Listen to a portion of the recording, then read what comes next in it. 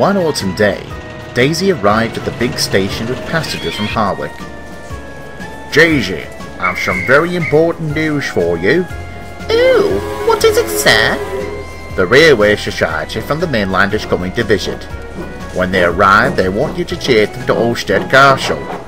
The Railway Society? Oh, thank you, sir. But who will... Your passengers will be fine. I have arranged for William to take them while you're away. Thank you very much, sir. Daisy was excited. She spent the rest of the day telling everyone she met about her important job. Oh, Henry! Yes, Daisy? I have some formidable nouvelle. I'm going to take the Railway Society to Ulfstead for the day. The Railway Society? Again? Why, yes. But why you? Surely the Fat Controller should have given that job to an engine like me. Not some buzzbox that's liable to break down, eh? Oh, how reminiscent your reaction is of the time when I first took them. What happened back then, Daisy? Well, the Railway Society came to see me back when I was new. Before moving to Harwick, Daisy used to work on Thomas's branch line. Because she was the first official diesel on the Fat Controller's railway, enthusiasts flocked to see her.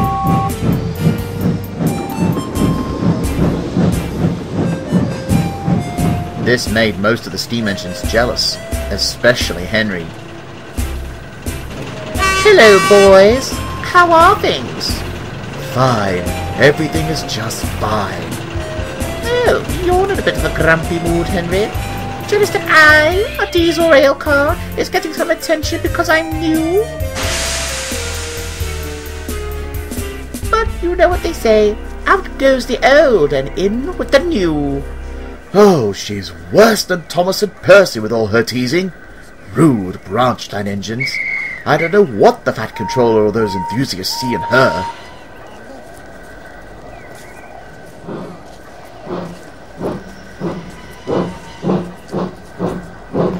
Daisy, I have some wonderful news. Because of your popularity in the Thin Clergyman's books last year, the Railway Society is coming to visit you in a couple of days, and they want to have a special trip with you on Thomas's branch line. The Railway Society? Who are they, sir? A group of people who are interested in all things railways, replied Duck. Oh, I say, that does sound amazing. Thank you, sir. I'm looking forward to it. Excellent. I'd arrange for Toby to take your passengers. Cheerio! That night, Henry puffed into the station with his last passenger train. Daisy was nearby ready to take passengers on her last train as well. What are you so smug about? I'll be taking the Railway Society in just two days. The ra- ra- Railway Society? The Railway Society? But why you? I would think that the society must want to ride things that are more modern, not some old smelly steam engine. Smelly? You should talk. We steam engines may not be a delightful smell to some, but you diesels release those nasty fumes when leaving the station. You have to be the worst engine I've ever met, and I say that as someone who has been a victim of name-calling before by a diesel, I might add. Typical diesels, always rude.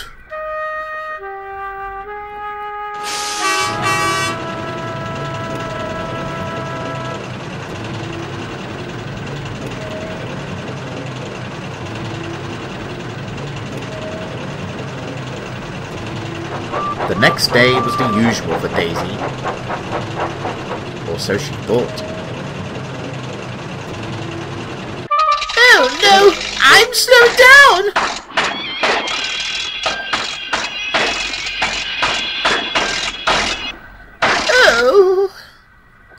Blimey, your engine's failed. Oh no! Then to make matters worse, Henry puffed by after pulling the flying kipper.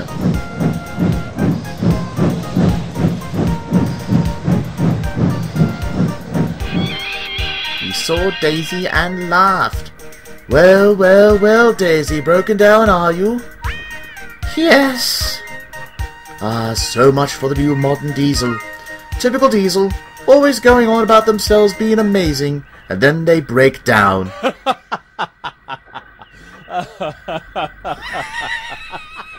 All right, Henry, I get it. All right, come on, I'll take you to the next station. Henry shunted Daisy into a siding at Lower Tidmouth. Thomas took her passages.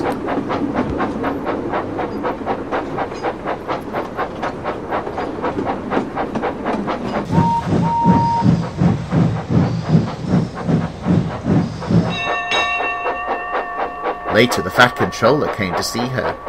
Please, sir, tell me I'll be fixed in time for tomorrow. It depends on your engine and the time to look over it. Meanwhile, I have to find an alternative just in case. The works was very busy as Daisy waited in a siding looking forlorn. The next day came, and Henry was being washed and polished to be ready for the Railway Society. Make sure you get my green paint so shiny that the society members can see their faces on my boiler. Now you're sounding like James and Daisy mixed together, teased Gordon. Well, Oh, I'm better than that green buzzbox. You'll never see me breaking down. And he puffed away importantly.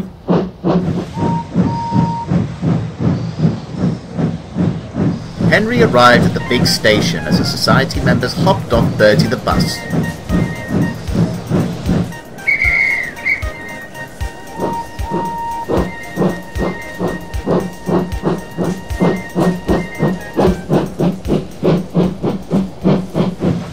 Trundled along the line towards Thomas's junction, Henry began to feel tired. Then he started to cough and wheeze.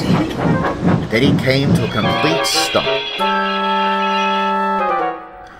What happened? The order of this low grey coal we got us dirty, replied his driver crossly. That explains the coughing this morning. I can't make steam properly and your boiler might be bad. We better get some help. They would have to wait for help, however, as before they knew it, along came Well, well, well, Henry. Broken down, are you? Typical steam engines, always boasting about how reliable they are compared to diesels. But then they break down. Help later arrived as Duck came to pull Henry back to the station.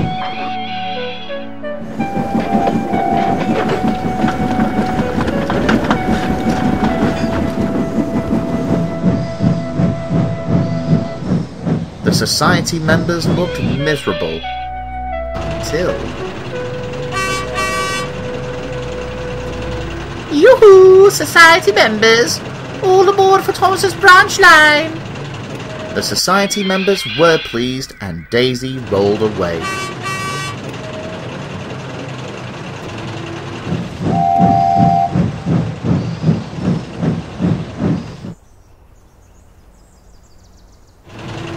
Later that day, Daisy arrived to see Henry. I'm sorry for calling you a typical diesel. I guess being boastful about being better than you got the better of me. I failed too.